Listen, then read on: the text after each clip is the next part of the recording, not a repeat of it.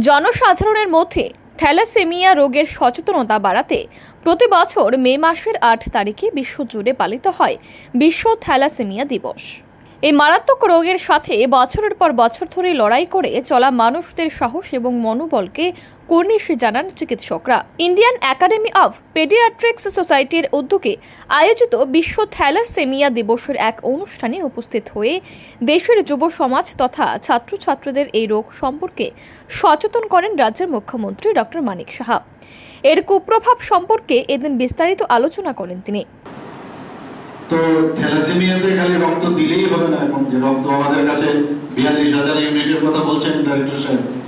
শুধু রক্ত দিলেই হবে না, তার মধ্যে এখন যেহেতু হিমোগ্লোবিনের, আমাদের অক্সিজেনের ক্ষমতা সেই হিমোগ্লোবিনের মধ্যে থাকে, এবং যে তার সাইজ সেটাই টোটালি থ্যালাসেমিয়ার কারণে একটা অ্যাবনর্মাল তার সাইজ হয়ে যায়, এবং তার যে বয়স সেই বিষয়ে আলোচনার চেষ্টা করা হয়েছে, যে ওয়ান হান্ড্রেড টোয়েন্টি ডেজ আমাদের তার লাইফ স্প্যান সেটা আস্তে আস্তে কমে সিক্সটি ফিফটি সিক্সটি হয়ে যায়।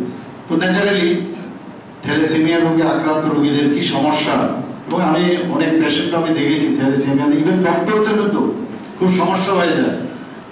মানে নলেজের তো শেষ নেই। নলেজ থাকা সত্ত্বেও এই পেশেন্টকে হাত দেবে কিনা? দিলে যদি তার কনসিকুয়েন্স যদি খারাপ হয়, তো ডক্টর রিস্ক নিতে চায় না অনেক সময়। তো এটা একটা সাংঘাতিক মানে আমি বলব যে একটা চিন্তার বিষয়। তো প্রিভেনশন ইজ বেটার দেন কেউ সেই কথাটা এখানে এসছে। এদিন উপস্থিত ছাত্রছাত্রীদের নেশার অপকারিতা নিয়েও বোঝান রাজ্যের মুখ্যমন্ত্রী ডক্টর মানিক সাহা। নেশা মুক্ত ত্রিপুরা গড়ে তুলতে দেশের যুব সমাজকে অগ্রণী ভূমিকা নিতে অনুরোধ করেন তিনি।